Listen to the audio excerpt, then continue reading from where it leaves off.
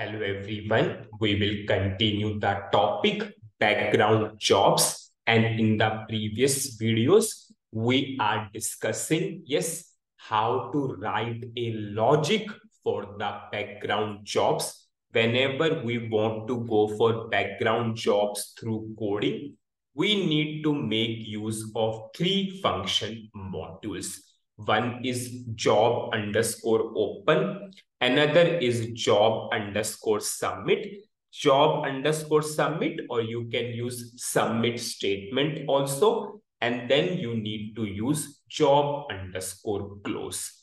And as a part of that, we created one program.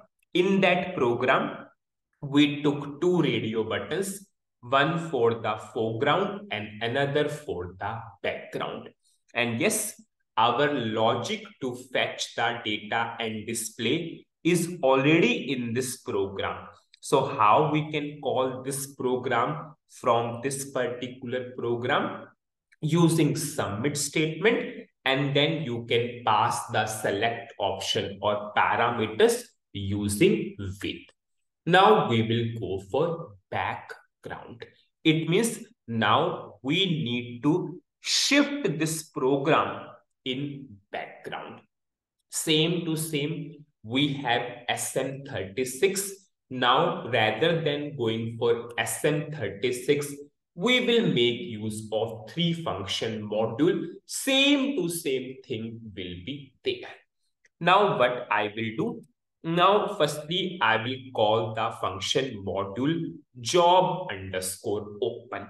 If user wants to run the program in the background, firstly, we will use the function module job underscore open. I will go to pattern button. I will go for function module job underscore open. Now we are getting so many parameters. Now just compare it to SM36 parallelly so that you will understand and clarity will be 100%. In SM36, what you are doing? You are giving the name of the job first. You are choosing the job classification. Now here also, we will give some name to the job. So I will give some name to the job. Suppose I will declare one variable. Suppose I will write LV underscore job name. Now, that type of LV underscore job name will be same as that of job name. Here it is exporting. It means in the function module, it will be importing. I'll just cut this and put into the if condition because this logic is the part of background. Now I will double click. I will go for yes, import. So job name is of this type. I will copy and declare in my program. So I will write data lv underscore job name type whatever I copy. Now we need to give some name to that job and you all know if I want to assign some value to this variable, how I can assign value is the keyword value. And I will give some name to the job. Suppose I will say the name of the job is order underscore BG. You can give any name to that job. It is totally your wish. Now, rather than this, suppose you do not want to go by this way. If you do not want to assign the value in this way, no problem. You can give like this also. LV underscore job name is equal to what is the value order underscore BG. It is totally your wish how you want to go. Suppose I will go by this way itself. While declaring itself, I am giving the value.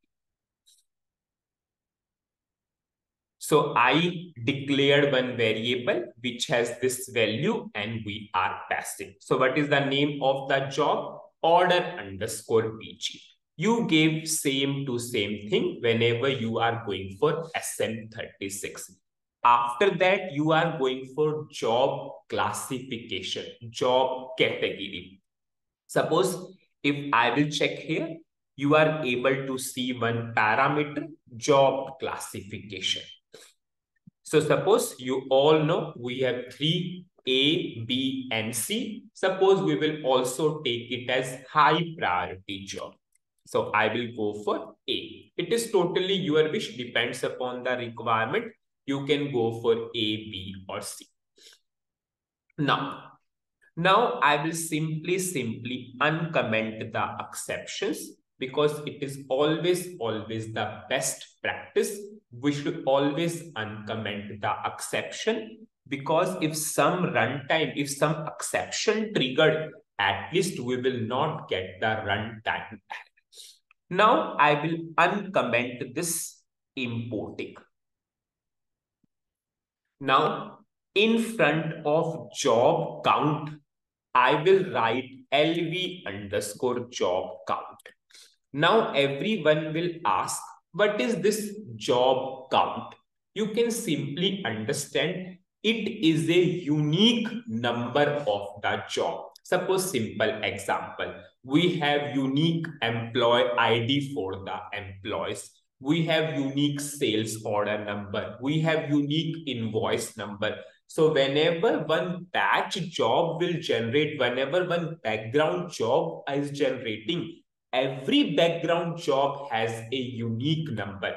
Now, many people will ask in the previous videos, we have not seen the background job number, how we can check. So I will show you.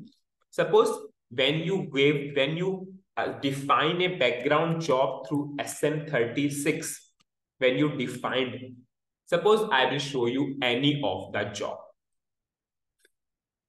Suppose I will write BG job underscore six or seven, any job. I'll change that date because this was created previously. Now you can see we have this job. If I want to check the job number of this, I will simply go to job log. Have you seen? We are able to see the batch job, background job number. So every background job has a number and this is what real world is. If 100 jobs are generating, so every job must have a unique number. Same way we are doing here. Now, if we are calling, what is the purpose of job underscore open? We are creating a background job. So we gave the job name. We gave the job classification so SAP will generate a unique number of that job. So in this variable, we will get the unique number of that job. Whenever the I will show you in the debugging mode, you will understand how unique number is generating. So now I will simply declare this variable LV underscore job count. Yes, it has the same type as that of job count. Here it is importing. It means in the function module, it will be the part of exporting. And you can see short text is itself ID number of background job, identification of background job. So I will copy and declare in my program. I will write data LV underscore job name type this. I will activate up to this level. Okay, LV underscore job count, sorry. I'll check the syntax and activate. So what is the summary of this particular video? Now we start writing the logic as a part of background. Yes, whenever user will select the background radio button, firstly, we called which function module job underscore open. In parallel session, we opened SM36 so that we can understand very clearly. We gave the name of the job and what is the name of the job order underscore BG. We take it as a high priority job and we will get the unique job number or we can say background job number, unique number of background job. In the next video, we will simply go for submit and then we will close the job. So that's it in this particular video. Thank you.